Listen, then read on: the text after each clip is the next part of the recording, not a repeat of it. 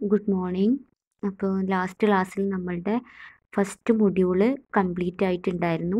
ഇന്ന് നമ്മൾ പറയാനായിട്ട് പോണത് രണ്ടാമത്തെ മൊഡ്യൂളാണ് ഒന്നാമത്തെ മൊഡ്യൂളിൽ നമ്മൾ വെറും ബേസിക് ആയിട്ടുള്ള കുറച്ച് കാര്യങ്ങൾ ആൻഡ്രോയിഡിന്റെ ഹിസ്റ്ററി വേർഷൻസ് അതേപോലെ തന്നെ അതിന്റെ ആർക്കിടെക്ചർ ലൈഫ് സൈക്കിൾ ഇതൊക്കെയാണ് നമ്മൾ പറഞ്ഞിട്ടുണ്ടായിരുന്നത്. പാക്കേജസ് ഇതൊക്കെയാണ് നമ്മൾ പറഞ്ഞതെങ്കിൽ ഇവിടെ കുറച്ചും കൂടെ നമ്മൾ ഇൻഡെപ്റ്റിലോട്ട് വരാൻ പോവുകയാണ് രണ്ടാമത്തെ മൊഡ്യൂളിൽ അപ്പോൾ മൊഡ്യൂൾ ടൂവിൽ നമ്മൾ ആദ്യം ഡിസ്കസ് ചെയ്യാനായിട്ട് പോണത് റിസോഴ്സസ് ആണ്. അതേപോലെ തന്നെ ലേഔട്ടുകൾ റിസോഴ്സുകൾ അതൊക്കെയാണ് നമ്മൾ ഈ ഒരു മൊഡ്യൂളിൽ ഡിസ്കസ് ചെയ്യാനായിട്ട് പോണത്. ഓക്കെ അപ്പോൾ ജസ്റ്റ് നമുക്ക് സ്റ്റാർട്ട് ചെയ്യാം. എന്താണ് മൊഡ്യൂൾ ടൂൾ ആദ്യം നമുക്ക് പഠിക്കാനായിട്ടുള്ളത് ആദ്യം തന്നെ നമ്മൾ ആൻഡ്രോയിഡ് റിസോഴ്സസിനെ നമ്മൾ ഐഡന്റിഫൈ ചെയ്യാൻ പോവുകയാണ് ഏതൊക്കെയാണ് ആൻഡ്രോയിഡ് റിസോഴ്സ് അല്ലെങ്കിൽ എന്താണ് ആൻഡ്രോയിഡ് റിസോഴ്സസ് എന്ന് പറഞ്ഞിട്ടുണ്ടെങ്കിൽ. അപ്പോൾ ഈ ഒരു റിസോഴ്സസ് എന്ന് പറയുമ്പോൾ മെയിനായിട്ട് ആൻഡ്രോയിഡ് ആർക്കിടെക്ചറിന്റെ ഒരു കോറായിട്ടുള്ള അല്ലെങ്കിൽ ഒരു ഇമ്പോർട്ടന്റ് ആയിട്ടുള്ള ഒരു ഒരു ഭാഗമാണ് റിസോഴ്സസ് എന്ന് പറയുന്നത്. അപ്പോൾ ഈ ഒരു റിസോഴ്സസിനെ നമ്മൾ പ്രോഗ്രാമിന്റെ ഭാഗമാക്കാറുണ്ട് എപ്പോഴും. എങ്കിൽ മാത്രമേ നമുക്ക് ആ ഒരു പെർട്ടിക്കുലർ റിസോഴ്സിന്റെ ഫീച്ചേഴ്സ് മുഴുവൻ നമുക്ക് കിട്ടുള്ളൂ. ഫോർ എക്സാമ്പിൾ ലേഔട്ട് റിസോഴ്സ് ആണെങ്കിലും സ്ട്രിങ് റിസോഴ്സ് ആണെങ്കിലും അല്ലെങ്കിൽ വേറെ ഏതെങ്കിലും തരത്തിലുള്ള കളേഴ്സിന്റെ റിസോഴ്സ് ആണെങ്കിലും ബിറ്റ് മാപ്സിന്റെ റിസോഴ്സസ് ആണെങ്കിലും എന്ത് തന്നെയാണെങ്കിലും നമ്മുടെ പ്രോഗ്രാമിലോട്ട് ബൗണ്ട് ചെയ്താൽ മാത്രമേ നമുക്കത് നന്നായിട്ട് ഉപയോഗിക്കാനായിട്ട് പറ്റുള്ളൂ. ഓക്കെ അപ്പോൾ നമുക്കിപ്പോൾ കളേഴ്സ് നമ്മൾ ആദ്യം നമ്മുടെ പ്രോഗ്രാമിലോട്ട് നമ്മൾ ആഡ് ചെയ്ത് കൊടുത്തു. നമുക്ക് ഇഷ്ടമുള്ള കളേഴ്സ് നമുക്ക് ആ ഒരു പാലറ്റിൽ നിന്നും ചൂസ് ചെയ്യാവുന്നതാണ്. അപ്പോൾ അത് നമ്മുടെ റിസോഴ്സിൽ അതൊരു റിസോഴ്സാണ് അത് നമ്മുടെ പ്രോഗ്രാമിലോട്ട് ആഡ് ചെയ്താൽ മാത്രമേ നമുക്ക് എന്ത് ചെയ്യാൻ പറ്റുള്ളൂ? അതൊക്കെ ചെയ്യാനായിട്ട് പറ്റുള്ളൂ. അപ്പോൾ നമ്മൾ ആദ്യം തന്നെ ആൻഡ്രോയിഡ് റിസോഴ്സസിനെ ഐഡന്റിഫൈ ചെയ്യണം. അതിനെ നമ്മളിലോട്ട് ഇമ്പോർട്ട് ചെയ്യണം. ദെൻ നമ്മളത് യൂസ് ചെയ്യും നമ്മുടെ പർപ്പസിന് വേണ്ടി നമുക്ക് പല രീതികളിൽ അത് നമുക്ക് യൂസ് ചെയ്യാനായിട്ട് പറ്റണം. അപ്പോൾ റിസോഴ്സസ് എന്ന് പറയുന്നത് നമ്മളുടെ ആൻഡ്രോയിഡ് ആർക്കിടെക്ചറിന്റെ വളരെ ഇമ്പോർട്ടന്റ് ആയിട്ടുള്ള ഒരു ഒരു ഭാഗമാണ് റിസോഴ്സസ് എന്ന് പറയുന്നത്.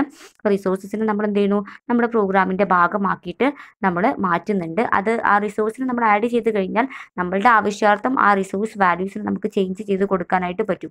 ഇപ്പോൾ നമ്മൾ കളേഴ്സ് എന്ന് പറയുന്ന ഒരു റിസോഴ്സിന് നമ്മൾ ആഡ് ചെയ്തിട്ടുണ്ട് എന്നുണ്ടെങ്കിൽ നമുക്ക് ഇഷ്ടമുള്ള കളേഴ്സ് നമുക്ക് ഇഷ്ടമുള്ള കളേഴ്സിന് നമുക്ക് പാലറ്റിൽ നിന്ന് ചൂസ് ചെയ്യാനായിട്ട് പറ്റും. നമ്മൾ ബിറ്റ് മാപ്സ് എന്ന് പറയുന്ന ഒരു റിസോഴ്സിനെ നമ്മൾ ആഡ് ചെയ്തിട്ടുണ്ടെങ്കിൽ നമുക്കതിന്റെ സൈസസ് നമുക്ക് നമ്മുടെ ഇമേജസിന്റെ ഒക്കെ ആയിക്കഴിഞ്ഞാലും സൈസും കാര്യങ്ങളും നമുക്ക് മാറ്റാനായിട്ട് പറ്റും. ലേഔട്ട് എന്ന് പറയുന്ന പാക്കേജ് നമ്മൾ ആഡ് ചെയ്ത് കഴിഞ്ഞിട്ടുണ്ടെങ്കിൽ പലതരത്തിലുള്ള ലേഔട്ടുകൾ ഫ്ലോ ലേഔട്ടുകൾ അല്ലെങ്കിൽ നമുക്ക് ഗ്രിഡ് ലേഔട്ട് അല്ലെങ്കിൽ എന്താ പറയുക എനി അതർ ലേഔട്ട്സിൽ നമുക്ക് സെറ്റ് ചെയ്യാം. നമ്മുടെ കൺട്രോൾസിന് അതായത് റേഡിയോ ബട്ടൺ അല്ലെങ്കിൽ ബട്ടൺ ടെക്സ്റ്റ് ബോക്സിന് ലാബൽ ബോക്സിനൊക്കെ നമ്മളുടെ ആവശ്യാർത്ഥം നമുക്ക് പല രീതികളിൽ നമുക്ക് അറേഞ്ച് ചെയ്ത് വെക്കാവുന്നതാണ്. ഓക്കെ അപ്പോൾ അതൊക്കെയാണ് നമുക്ക് നമ്മൾ മെയിനായിട്ട് ഇതിൽ ഉപയോഗിക്കാൻ പോകുന്ന റിസോഴ്സസ് റിസോഴ്സസ് ഉണ്ടെങ്കിൽ നമുക്ക് നമ്മുടെ ഡിസൈനിങ് ആയി കഴിഞ്ഞാലും ബാക്കി any other activities related to Android become very easy അത് ഭയങ്കര ഈസി ആക്കാൻ വേണ്ടിയിട്ടാണ് റിസോഴ്സസ് മെയിനായിട്ട് ഉപയോഗിക്കുന്നത്. നമ്മൾ ആദ്യം പറയാൻ പോകുന്നത് സ്ട്രിങ് റിസോഴ്സസ് ആണ്. അപ്പോൾ സ്ട്രിങ് റിസോഴ്സ് എന്ന് പറയുമ്പോൾ നമ്മളുടെ ആൻഡ്രോയിഡിൽ വരുന്ന ഒരു എക്സ് എം എൽ റിസോഴ്സ് ഫയലാണ് സ്ട്രിങ് റിസോഴ്സ് എന്ന് പറഞ്ഞിട്ടുണ്ടെങ്കിൽ. അപ്പോൾ അതൊരു സ്ട്രിങ് റിസോഴ്സ് ആണ് നമ്മൾ മനസ്സിലാക്കുന്നത് എങ്ങനെയാണെന്ന് വെച്ചിട്ടുണ്ടെങ്കിൽ അതിൽ എന്താ പറയുക string dot X M L എന്ന് പറയുന്ന ഫയൽ നമ്മൾ കണ്ടിട്ടുണ്ടെന്നുണ്ടെങ്കിൽ നമ്മളുടെ നമ്മളുടെ റിസോഴ്സിന്റെ ഉള്ളിൽ അതായത് നമ്മളിപ്പോൾ ഇൻസ്റ്റാൾ ചെയ്ത ലൊക്കേഷനിൽ റിസോഴ്സിന്റെ ഉള്ളിൽ സബ് ഡയറക്ടീസിന്റെ ഉള്ളിൽ strings dot X M L എന്ന് കണ്ടാൽ മനസ്സിലാക്കുക അതെന്ത് റിസോഴ്സാണ് സ്ട്രിങ് റിസോഴ്സ് ഫയലിന്റെ അതിന്റെ എന്താ പറയുക ഫയലാണ് അത്. സ്ട്രിങ്സ് എക്സ് എം എൽ എന്ന് പറയുന്നത്. സ്ട്രിങ്സ് എന്ന് പറയുന്ന റിസോഴ്സിന്റെ മെയിൻ ഫയലാണെന്നുള്ള കാര്യം നമുക്ക് മനസ്സിലാക്കുക. അതുണ്ടായിരിക്കുക. റിസോഴ്സ് എന്ന് പറയുന്ന ഡയറക്ടറിന്റെ ഉള്ളിൽ വീണ്ടും സബ് ഡയറക്ടറീസിന്റെ ഉള്ളിൽ strings dot X M L എന്ന് പറയുന്ന ഫയൽ കണ്ടാലാണ് അത് സ്ട്രിങ് റിസോഴ്സ് ആണ് നമ്മൾ മനസ്സിലാക്കേണ്ടത്. ഇപ്പോൾ ഒരു എക്സാമ്പിൾ സ്ട്രിങ്സ് റിസോഴ്സിന്റെ ഒരു എക്സാമ്പിൾ പറയുകയാണെങ്കിൽ നമ്മൾ പറഞ്ഞു strings dot X M L എന്നായിരിക്കും string resource full string related operations ഇട്ടാ സ്ട്രിങ് എന്ന് വെച്ചാൽ നമുക്കറിയാലോ. കോമ്പിനേഷൻ ഓഫ് ലെറ്റേഴ്സ് ക്യാരക്ടേഴ്സിനൊക്കെയാണ് നമ്മൾ സ്ട്രിങ്സ് എന്ന് പറയുക അപ്പോൾ സ്ട്രിങ് റിലേറ്റഡ് ആയിട്ടുള്ള എല്ലാ ഓപ്പറേഷൻസിനും സപ്പോർട്ട് ചെയ്യുന്നത് ആ ഒരു strings dot X M L എന്ന് പറയുന്ന ഫയലാണ് അപ്പോൾ നമ്മൾ ആദ്യം ഇവിടെ റിസോഴ്സസ് ജസ്റ്റ് ഒന്ന് ഓപ്പൺ ചെയ്തു. ശേഷം string name hello then hello എന്ന് കൊടുത്തു. സ്ട്രിങ് ക്ലോസ് ചെയ്തു. അടുത്തത് സ്ട്രിങ് നെയിം ആപ്പ് നെയിം എന്ന് കൊടുത്തു. ഹലോ ആപ്പ് നെയിം എന്ന് കൊടുത്തു. സ്ട്രിങ് ക്ലോസ് ചെയ്തു ആൻഡ് റിസോഴ്സ് ക്ലോസ് ചെയ്തു. അപ്പോൾ രണ്ട് സ്ട്രിങ്ങിന്റെ റിസോഴ്സ് ആണ് ആക്ച്വലി ഇതിൽ കാണിച്ചിട്ടുള്ളത് അല്ലേ? ഇത്തരത്തിലുള്ള സ്ട്രിങ് ഇത്തരത്തിലുള്ള സ്ട്രിങ് റിസോഴ്സസ് ഒക്കെ നമ്മൾ റിസോഴ്സ് ഓപ്പൺ ചെയ്ത ശേഷം string then name then outside അതിന്റെ എക്സ്റ്റേണൽ വാല്യൂ കൊടുക്കുക. Again string name is equal to internal value കൊടുക്കുക. ദെൻ അതിന് ഔട്ട്സൈഡ് വാല്യൂ കൊടുക്കുക. അങ്ങനെ മുഴുവൻ നമുക്ക് ആ റിസോഴ്സിന്റെ ഉള്ളിൽ നമുക്ക് എഴുതാൻ പറ്റും. അപ്പം നമ്മൾ റിസോഴ്സ് എന്ന് പറയുന്ന ടാഗ് ഓപ്പൺ ചെയ്ത ശേഷമാണ് നമ്മൾ എന്ത് എഴുതിയത്? എക്സ് എം എൽ കോഡാണല്ലോ റിസോഴ്സ് എന്ന് പറയുന്ന ടാഗ് ഓപ്പൺ ചെയ്ത ശേഷം ഞാൻ സ്ട്രിങ് റിസോഴ്സ് ആയതുകൊണ്ട് സ്ട്രിങ് എന്ന് കൊടുത്തു. ശേഷം ഞാൻ നെയിം എന്ന് കൊടുത്തിട്ട് നമ്മൾ ആ ഒരു സ്ട്രിങ്ങിന് കൊടുക്കുന്ന ഇന്റേർണൽ വാല്യൂ കൊടുത്തു. ആ ആംഗുലർ ബ്രാക്കറ്റ് ക്ലോസ് ചെയ്ത ശേഷം ഔട്ട് സൈഡ് നമ്മൾ പുറത്ത് കാണാൻ പുറത്ത് വിസിബിൾ ആയിട്ട് കാണേണ്ട സ്ട്രിങ് നെയിം എന്താണോ? ഹലോ എന്നാണെങ്കിൽ ഹലോ എന്ന് കൊടുത്തു. ദെൻ ആ സ്ട്രിങ് അവിടെ ക്ലോസ് ചെയ്തു. അതൊരു കണ്ടെയ്നർ ടാഗ് ആണ്. അടുത്തത് വീണ്ടും ഞാൻ സ്ട്രിങ് ഓപ്പൺ ചെയ്ത് അടുത്ത സ്ട്രിങ്ങിന്റെ ഇന്റേർണൽ നെയിം ഞാൻ ആപ്പ് നെയിം എന്ന് കൊടുത്തു.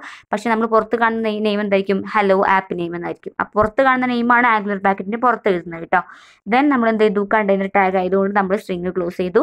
ദെൻ ഫൈനലി നമ്മുടെ റിസോഴ്സ് സ്ട്രിങ് റിസോഴ്സ് മുഴുവൻ എഴുതി കഴിഞ്ഞാൽ ആ ഒരു റിസോഴ്സ് അവിടെ ക്ലോസ് ചെയ്യും.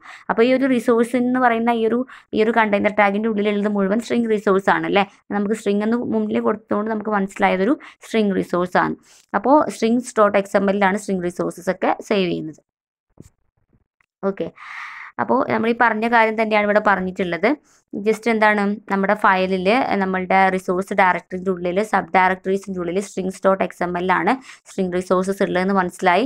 റിസോഴ്സ് എന്ന് പറയുന്ന രണ്ട് കണ്ടെയ്നർ ടാഗിന്റെ ഒരു കണ്ടെയ്നർ ടാഗിന്റെ ഇടയിൽ നമ്മൾ സ്ട്രിങ് അതേപോലെ തന്നെ നെയിം എന്ന് പറയുന്ന ആട്രിബ്യൂട്ടിൽ നമ്മൾ കൊടുക്കേണ്ട ഇന്റേർണൽ നെയിം കൊടുക്കുക. ഔട്ട്സൈഡ് നമ്മൾ എക്സ്റ്റേണൽ നെയിമും കൊടുത്ത് നമ്മൾ ഡിഫൈൻ ചെയ്യുകയാണെങ്കിൽ അതൊരു സ്ട്രിങ് റിസോഴ്സായി നമുക്ക് കൺസിഡർ ചെയ്യാവുന്നതാണ്. ഓക്കെ ദെൻ ഇതിന് അതിന്റെ ഒരു പാത്ത് കൊടുത്തിക്കാണ് കേട്ടോ? ജസ്റ്റ് നമ്മുടെ ഫയലിന്റെ പാത്ത് അവർ മെൻഷൻ ചെയ്ത് കൊടുത്തിക്കാണ് നമ്മൾ ജസ്റ്റ് റിസോഴ്സ് ഫയലിന്റെ ഉള്ളിലാണെന്നുള്ളത് മനസ്സിലാക്കിയാലും കുഴപ്പമില്ല. അതേപോലെ തന്നെ ഇത് വേറൊരു എക്സാമ്പിളാണ് ആർ ഡോട്ട് ജാവ എന്ന് പറയുന്ന ഒരു ജാവ ഫയലാണിത് അതിന് നമ്മൾ പാക്കേജ് ഒക്കെ ആദ്യം കൊടുത്തു. ശേഷം നമ്മൾ ഇവിടെ public static final class string എന്ന് പറഞ്ഞിട്ട് ഒരു ക്ലാസ് ഒരു മെത്തേഡ് ക്ലാസ് അവിടെ ഡിഫൈൻ ചെയ്തിട്ടുണ്ട്. ഫൈനൽ ക്ലാസ് ആണ്. ഫൈനൽ ക്ലാസ് വെച്ചാൽ നിങ്ങൾക്ക് അറിയാമല്ലോ നമുക്കതിനെ ഇൻഹെറിറ്റ് ചെയ്യാനൊന്നും പറ്റില്ല. അത് മാത്രമല്ല അതിനെ ഓവർ റൈറ്റ് ചെയ്യാനൊന്നും സാധിക്കില്ല. ക്ലാസ്സിന്റെ പേര് സ്ട്രിങ് എന്നാണ്. എന്നിട്ട് അതിൽ ഒരു രണ്ട് വേരിയബിൾസ് ഞാൻ ഡിഫൈൻ ചെയ്തിട്ടുണ്ട്. അത് രണ്ട് വേരിയബിളും ഫൈനലാണ് സ്റ്റാറ്റിക് ആണ് ഒന്നിന്റെ പേര് ഹലോ എന്നാണ്. ഒന്നിന്റെ പേര് app name is equal to അടുത്തത് വേറൊരു വാല്യൂ ഞാൻ അസൈൻ ചെയ്ത് കൊടുത്തിട്ടുണ്ട്. അപ്പോൾ ഇത് നമ്മൾ കൊടുക്കുന്ന വേരിയബിൾ അപ്പോൾ നമ്മൾ അവിടെ കൊടുത്തിട്ടുണ്ടല്ലോ സ്ട്രിങ് നെയിം ഓക്കെ അവിടെ നമ്മളൊരു ഇന്റേണൽ നെയിം കൊടുത്തില്ലേ? ആ ഇന്റേണൽ നെയിം ആണ് ഇവിടെ നിങ്ങൾ വേരിയബിൾ നെയിം ആയിട്ട് കൊടുക്കേണ്ടത് കേട്ടോ. ആ ഇന്റേണൽ നെയിം ആണ് ഇവിടെ നിങ്ങൾ വേരിയബിൾ നെയിം ആയിട്ട് കൊടുക്കേണ്ടത്. ഇപ്പോൾ അത് നമ്മൾ എഴുതിയത് എക്സ് എം എൽ കോഡാണ് അതിന് കറസ്പോണ്ടിങ് ആയിട്ടുള്ള ജാവ കോഡാണ് നമ്മളിവിടെ എഴുതിയിട്ടുള്ളത്. ഓക്കെ അപ്പോൾ ഇന്റു ഹലോ എന്ന് പറയുമ്പോൾ ആ ഹലോവിന് കറസ്പോണ്ടിങ് ആയിട്ടുള്ള വാല്യൂ വരും. അതേപോലെ തന്നെ അടുത്തത് ആപ്പ് നെയിം എന്ന് പറയുമ്പോൾ ആപ്പ് നെയിമിന്റെ വാല്യൂ അപ്പോൾ ഇത് രണ്ടും നമ്മൾ കമ്മ്യൂണിക്കേറ്റ് ചെയ്യുന്നത് ഇതിന്റെ നെയിം ആണ്. അവിടെ നമ്മൾ എന്തായിട്ട് വരുന്നത് വേരിയബിൾ ആയിട്ട് ഉപയോഗിക്കുന്നത് ജാവയിൽ നമ്മളത് വേരിയബിൾ ആയിട്ട് യൂസ് ചെയ്യുന്നു. അവിടെ നിങ്ങൾ എന്തായിട്ട് യൂസ് ചെയ്യുന്നു?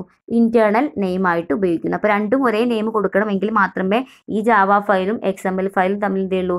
കമ്മ്യൂണിക്കേഷൻ പോസിബിൾ ആയിട്ട് നമ്മൾ എക്സ്പെക്റ്റ് ചെയ്യുന്ന രീതിയിലുള്ള ഒരു ഔട്ട്കം അത് പ്രൊഡ്യൂസ് ചെയ്ത് തരുള്ളൂ.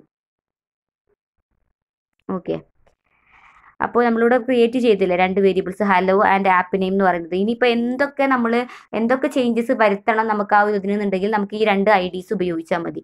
അതിന്റെ ആ ഹലോന്റെ കളർ മാറ്റണോ അല്ലെങ്കിൽ അതിന്റെ സൈസ് കൂട്ടണോ അങ്ങനെയുള്ള പ്രോപ്പർട്ടീസ് ഒക്കെ നമുക്ക് സെറ്റ് ചെയ്യണം എന്നുണ്ടെങ്കിൽ നമ്മൾ ജസ്റ്റ് ഈ ഒരു ഫയലിന്റെ ഈ ഒരു ഇന്റ ഈ ഒരു ഈ നമ്മളിപ്പോൾ കൊടുത്ത ഈ ഐ ഡി നെയിം ഉണ്ടല്ലോ അതായത് ഇന്റേർണൽ നെയിം അത് ഉപയോഗിച്ച് കഴിഞ്ഞാൽ തന്നെ നമുക്ക് ആ ഒരു കറസ്പോണ്ടിങ് ആയിട്ടുള്ള സ്ട്രിങ്ങിന് നമുക്ക് എന്ത് ചേഞ്ചസ് വേണമെങ്കിലും കൊടുക്കാൻ പറ്റും. നമ്മൾ ആ ഒരു ഐ ഡി മാത്രം ഓർത്ത് വെച്ചിരുന്നാൽ മാത്രം മതി. അടുത്തത് ലേ ഔട്ട് റിസോഴ്സസ് ആണ്. ലേ ഔട്ട് റിസോഴ്സ് അപ്പോൾ സ്ട്രിങ് റിസോഴ്സ് എന്ന് പറയുമ്പോൾ മെയിനായിട്ട് സ്ട്രിങ് റിലേറ്റഡ് കേട്ടോ. സ്ട്രിങ്ങിന്റെ എന്താ സ്ട്രിങ് റിലേറ്റഡ് ആയിട്ടുള്ള ഓപ്പറേഷൻസ് ഒക്കെയാണ് നമ്മൾ സ്ട്രിങ് റിസോഴ്സിൽ പറയുന്നത്.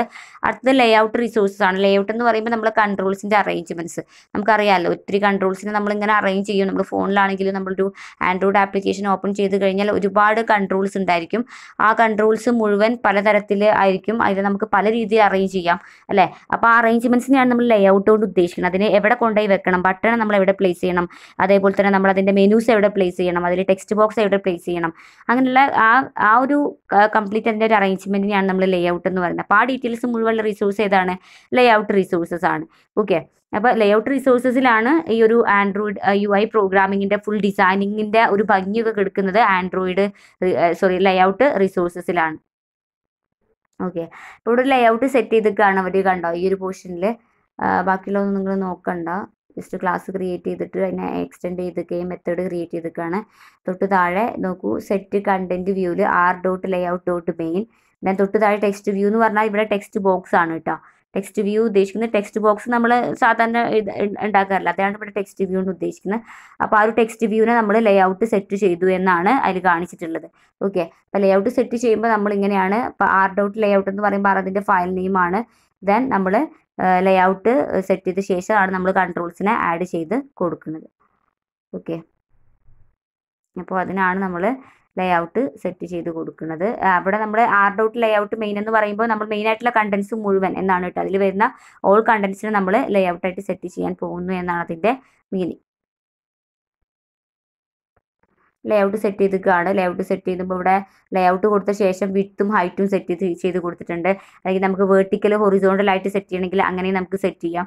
നിങ്ങൾ പ്രോജക്റ്റ് ചെയ്യുമ്പോൾ ശരിക്കും നിങ്ങൾ ഡിസൈനിങ് തുടങ്ങുമ്പോൾ തന്നെ ഈ ഒരു ലേഔട്ടൊക്കെ നിങ്ങൾ പഠിക്കും. എങ്ങനെയാണ് നിങ്ങൾ അറേഞ്ച് ചെയ്യുക എന്നുള്ള കാര്യം കേട്ടോ അപ്പം നമ്മൾ നിങ്ങൾക്ക് ഇങ്ങനെ ലേഔട്ടിനെ എങ്ങനെ സെറ്റ് ചെയ്യാം?